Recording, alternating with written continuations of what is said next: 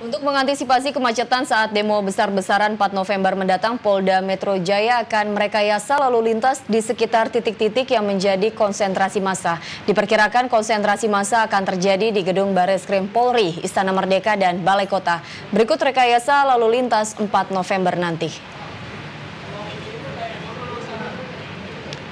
Jika masa berkumpul di Bares Krim Polri yang terletak dekat gedung kantor Kementerian Kelautan dan Perikanan, maka kendaraan dari arah Gajah Mada menuju Jalan Merdeka Timur akan dialihkan ke Jalan Juanda dan seterusnya ke Gunung Sahari. Kemudian kendaraan dari Tugutani mengarah Jalan Merdeka Timur akan dialihkan ke Tugutani Merdeka Selatan, Jalan MH Tamrin. Dan kendaraan dari arah Senen dialihkan ke Cikini Raya, Diponegoro hingga Salemba.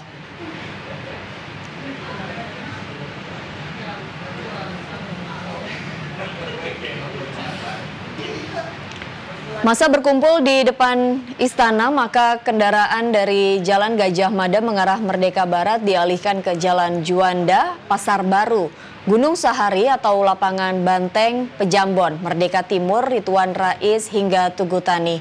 Sedangkan jika kendaraan dari arah Budi Kemuliaan menuju Patung Kuda akan dialihkan menuju Jalan Majapahit Harmoni. Sedangkan kendaraan dari arah Tugu Tani, Merdeka Selatan mengarah ke Patung Kuda diarahkan ke Tugu Tani, Merdeka Selatan, belok kiri ke Jalan Tamrin Sudirman atau dari Tugu Tani menuju Rituan Rais, Merdeka Timur, Perwira Veteran Raya, Pasar Baru hingga Gunung Sahari.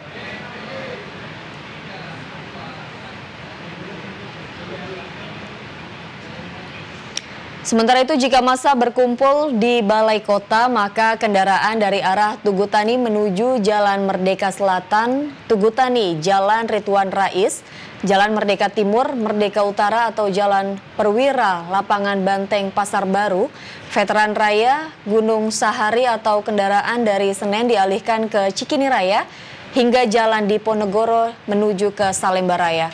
Kemudian kendaraan dari arah Jalan Merdeka Barat, Budi Kemuliaan mengarah Merdeka Selatan, dialihkan ke Budi Kemuliaan belok ke kanan ke arah MH Tamrin Sudirman atau ke Merdeka Barat Majapahit Harmoni.